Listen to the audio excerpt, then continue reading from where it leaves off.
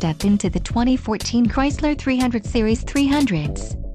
If you are looking for an automobile with great features, look no further.